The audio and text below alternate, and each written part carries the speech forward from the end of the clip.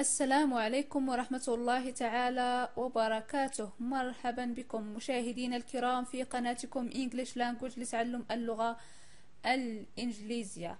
الفرق بين lost and miss هذا ما سنتعرف عليه في هذا الفيديو. غالبا ما نقع في أخطاء في استعمال lost and miss. طبعا لأن لهما نفس المعنى. lost تعني فقدان وأيضا miss تعني فقدان. لكن استعمالهما مختلف تماما. يختلف طبعا حسب معنى الجملة. حسب معنى الجملة. في هذا الفيديو سنتعرف على الفرق بين lost and miss. لن تخطئوا مجددا في استخدام lost وأيضا miss. الفرق بين lost و miss تستخدم lost للتعبير عن فقدان شيء بسبب الزمان أو الدمار أو الإهمال أو الموت أو شيء ما. إذا فقدان شيء وغالبا ما يكون فقدانا أبديا.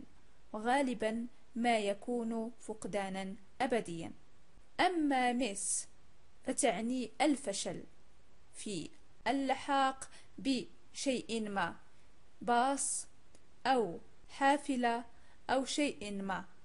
وأيضا تستخدم مس للتعبير عن تفويت أمر ما. تفويت أمر ما مثلا مقابلة درس معين تفوت شيئا ما. وأيضا تستخدم للتعبير عن الاشتياق لأحد ما.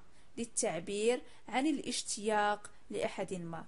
تستخدم lost للتعبير عن فقدان شيء بسبب الزمان الدمار الإهمال أو الموت وفي أغلب الأحيان يكون فقدانا أبديا. أما مس فتعني الفشل في اللحاق بشيء ما وأيضا تفويت شيء ما أو الاشتياق لأحد ما. سنعرض مجموعة من الجمل. سنتعرف فيها عن استخدام lost وأيضا استخدام miss لترسيخ القاعدة في أذهاننا أول جملة هي دود دود You missed a great concert last night. Dude, you missed a great concert last night. صديقي دود لكن لا تستخدم في الكلام الرسمي بل إنها كلمة في العامية. كما نقول يا صاح. يا صاح هي كلمة عامية. أما إذا أردنا أن نتكلم باللغة الإنجليزية الحقيقية my friend my friend ليس دود. You missed a great concert last night. فاتتك حفلة موسيقية رائعة. إذا missed فاتتك missed. ننتقل إلى مثال آخر لكي نفهم أكثر. He lost his father. He lost his father. لقد فقد والده. لقد فقد والده. He lost his father. يعني lost هنا استخدمناها للتعبير عن للأبد. فقط للأبد. He lost his father. يعني للأبد. ربما سنقول he lost his friend. ولا تعني أن his friend مات. أو صديقه مات بل ربما ستعني أنه خسر صداقته خسر صداقته إلى الأبد. إذا he lost his father لقد فقد والده. He has died of cancer. He has died of cancer. لقد مات بالسرطان. لقد مات بالسرطان. إذا he lost his father. He has died of cancer. لقد فقد والده. إذا عندما نقول he lost his father يعني هنا توفى. سنفهم أوتوماتيكيا أن والده قد مات. He lost his father. سنفهم أوتوماتيكيا أن والده قد مات. He lost his father. يعني فقد والده.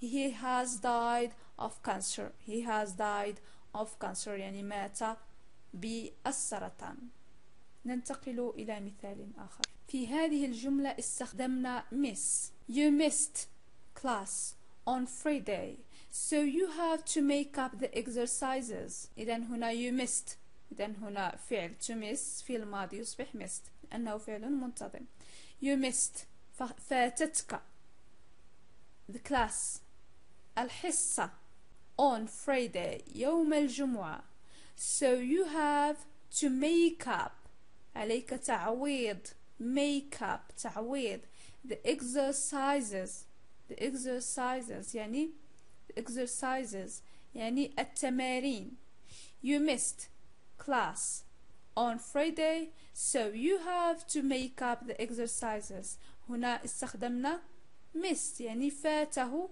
الصف فاته الصف يعني فوت شيئا مهما he missed a class on Friday إذا لقد فاتك الصف يوم الجمعة لذلك عليك تعويض التمارين عليك تعويض التمارين to make up the exercises ننتقل إلى مثال آخر لكي نفهم أكثر I miss my friend she is in Toronto this week I miss my friend she's in Toronto this week I miss أفتقد أو أشتاق my friend إلى صديقتي. أشتاق إلى صديقتي أو أفتقد صديقتي. She is in Toronto. إنها في تورونتو. تورونتو هي مدينة في كندا. This week هذا الأسبوع. I miss my friend. She is in Toronto this week. أفتقد صديقتي.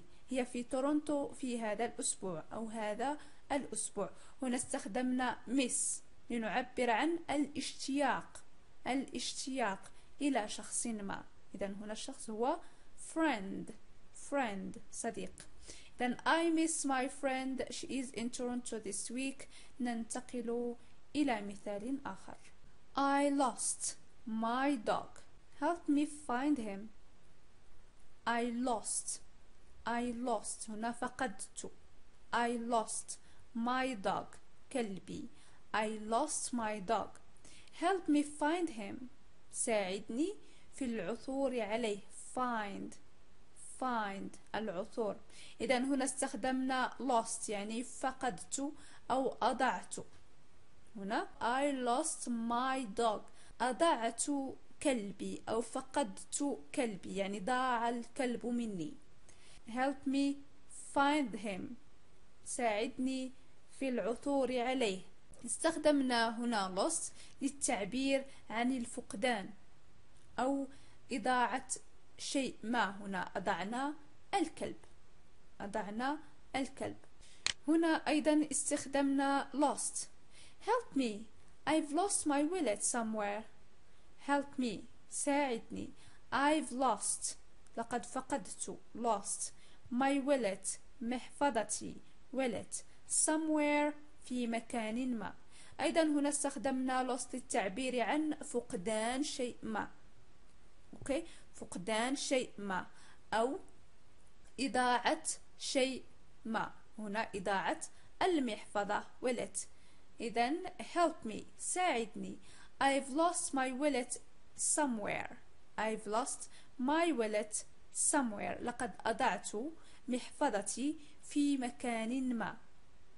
lost أضعت lost أضعت شيئا ما ولم نقل I miss my wallet لأنها خاطئة بل سنستعمل I've lost my wallet then help me I've lost my wallet somewhere ننتقل إلى مثال آخر I missed the bus and now I have to walk I missed I missed فوتت I missed the bus الحافلة فوتت الحافلة okay I missed the bus I missed the bus لم نكتب I lost the bus لأنها خاطئة تماما بل سنقول I missed the bus لقد فوتت الحافلة and now